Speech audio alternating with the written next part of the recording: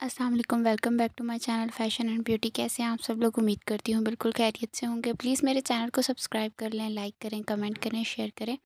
आज हम बात करेंगे घर पे आप किस तरह डिज़ाइनर लहंगा बना सकते हैं। तो जी, ये हमारे पास है डिज़ाइनर लहंगा।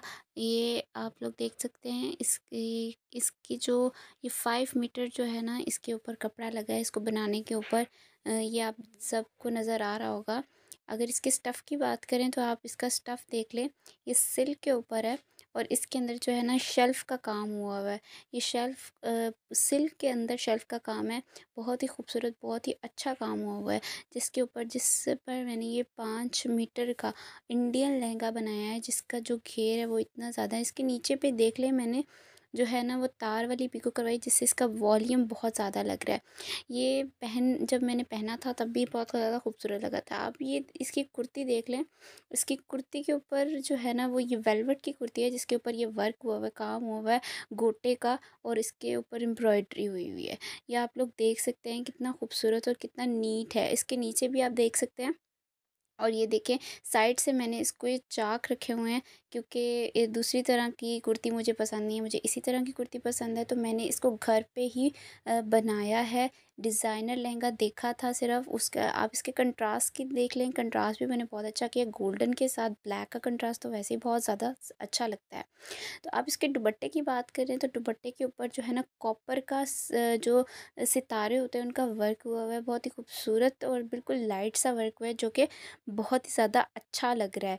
और इसके कंट्रास्ट में देखें आप कितना अच्छा लग रहा है और इसका जो जो कढ़ाई है, ये जो इसके ऊपर एम्ब्रॉयड्री है, वो कितनी नीट और क्लीन है। बिल्कुल, और अगर आप इसके पीछे की बात करें तो पीछे से मैंने प्लेन बनाई है क्योंकि ज़्यादा भरा हुआ ये अच्छा नहीं लग रहा था तो पीछे से इसकी साइड प्लेन बनाई है।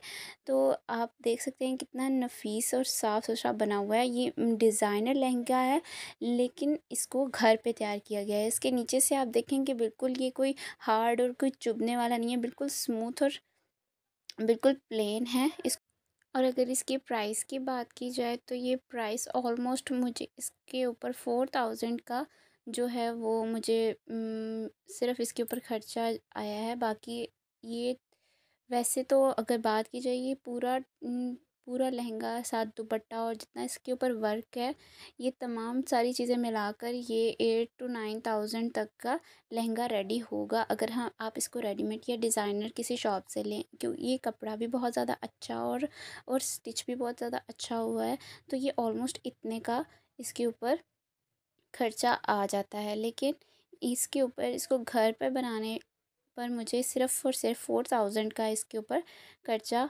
आया है। तो ये अब मैं उम्मीद करती हूँ कि मेरा ये लहंगा आपको जो है बहुत ज़्यादा अच्छा लग रहा होगा। और अगर आप लोगों को किसी और डिज़ाइन का स्टाइल या कोई और लहंगा देखना है तो आप मेरे कमेंट सेक्शन में ज़रूर बताइएगा। मैं आपको उस तरह का स्टाइल भी ज़रूर दिखाऊँगी। आप इसको वेयर किए हुए भी देख सकते हैं। कि ये पहना हुआ कितना ज़्यादा खूबसूरत, मैंने इसको मेहंदी के फ़ंक्शन पे पहना था और ये कितना खूबसूरत और कितना अच्छा लग रहा है। इस तरह की मज़ीद वीडियो देखने के लिए मेरा चैनल सब्सक्राइब कर लें, अपना बहुत ज़्यादा ख्याल रखिएगा। Take care.